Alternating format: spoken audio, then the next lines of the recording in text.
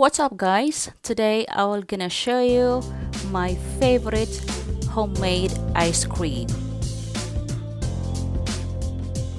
Ang ating mga kasangkapan ay hand mixer. Meron tayong mixing bowl. At meron tayong glass container para sa finished product mamaya. At ang yung main ingredients natin ay tatlong packs ng Oreo.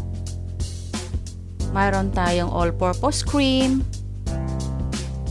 At syempre, hindi mawawala ang condensed milk for sweeten.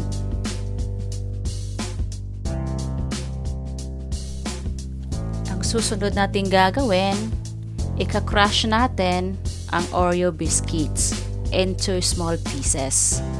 At huwag kakalimutan na magtira tayo ng mga tatlong pirasong biscuits para naman sa ating toppings mamaya.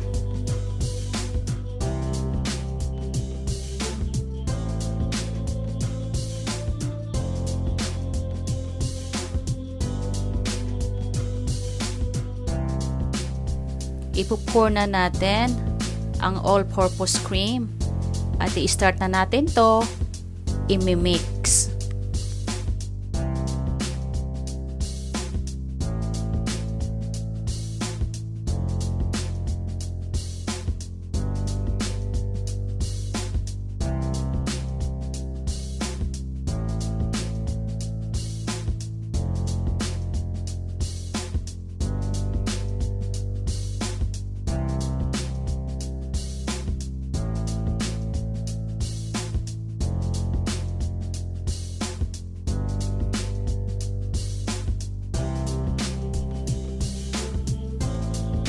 Then, imimix natin to for 20 minutes or hanggang magdo double volume ang cream natin.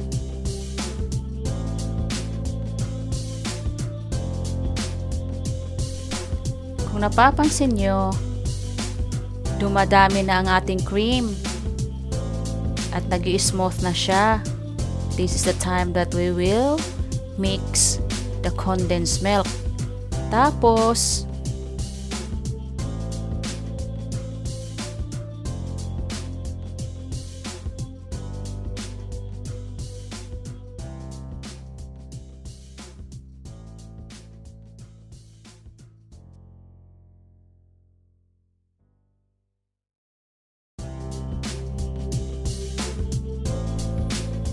Tapos, imimix natin ng konti para mahalo ng mabuti ang condensed milk sa cream.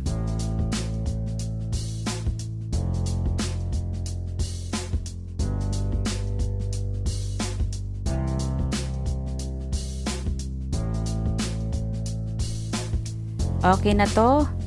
Ngayon, ipupour na natin ang crushed Oreo. Hahaluin lang natin gamit ang kutsara.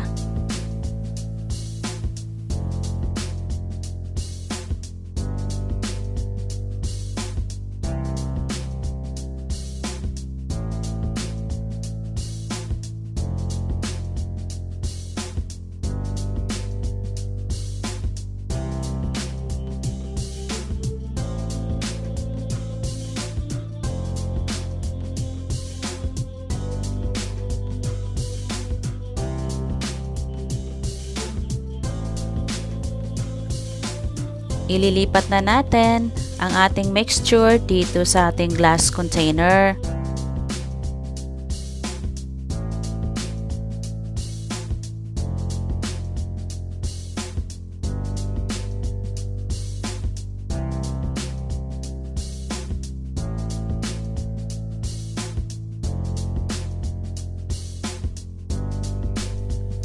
Ang toppings nito ay optional. Kung ayaw nyong lagyan ng toppings, walang problema.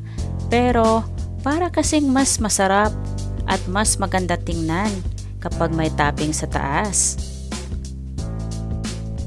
I-freezer natin to ng 8 oras or overnight.